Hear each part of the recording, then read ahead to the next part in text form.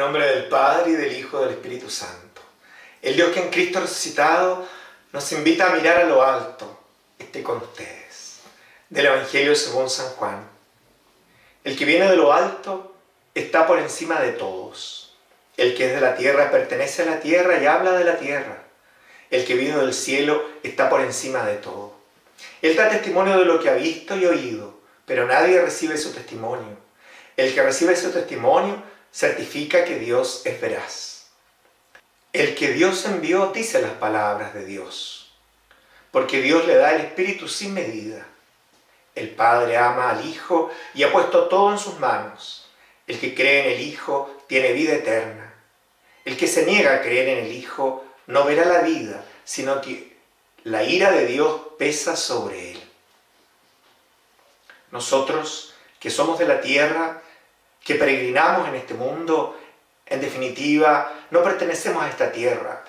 Por eso hemos de verificar que si no pertenecemos plenamente a lo terrenal, tampoco hemos de hablar solo y siempre de lo terrenal.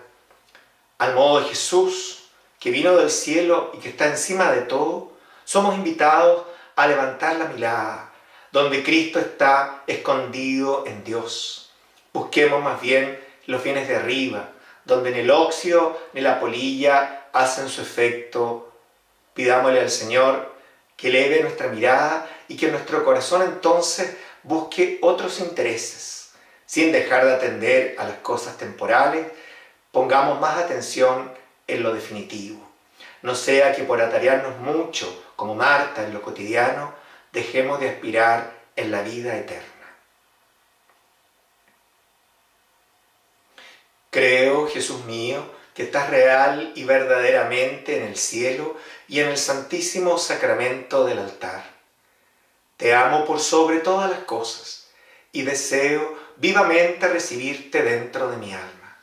Mas, no pudiéndolo hacer ahora sacramentalmente, ven espiritualmente a mi corazón.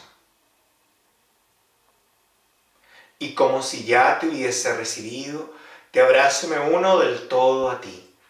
Señor, no permitas que me separe de ti. Que les bendiga, les renueve aquel que es Padre, Hijo y Espíritu Santo.